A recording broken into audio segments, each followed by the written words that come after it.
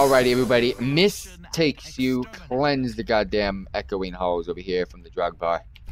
We're gonna go ahead and pull these as much as possible. But yeah, back to in chat. I I joined Legion late.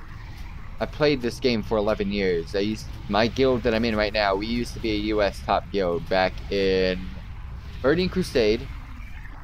Some of them have been playing since vanilla, but we used to be a top guild in Burning Crusade, Wrath of the Lich King. Then we started going down in Cataclysm. Then we ba went back up in Mists of Pandaria, and then we just fell off in Draenor. We absolutely fell off in Draenor. We didn't care. A lot of our guild members decided to quit the game because of its suck.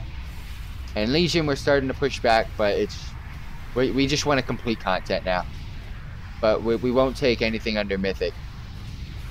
I mean, we're just going to complete it. Most people can't even complete content, but we'll make sure we complete it at least.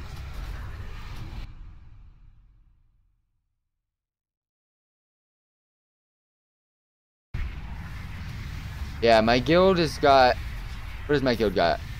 My guild's complete done with Emerald Nighthold, completely done with Trial of Valor, and they're working on Mythic Nighthold right now.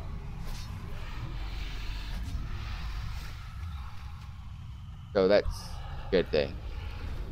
I mean, we're not doing too bad, especially for only raiding three, six, seven, eight hours a week. We raid three hours Friday, three hours Saturday, two hours Sunday. That's it. We used to raid six days a week. I was back. I was back in the U.S. top days.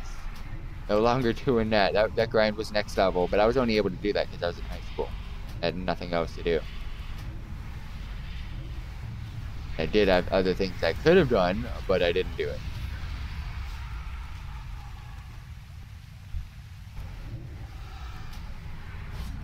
So now we're kind of coming back, but again, we just want to complete content. In a matter of time, we will get things done, put it that way. We don't want to tire ourselves out of this game. We've done that already before. That was not fun.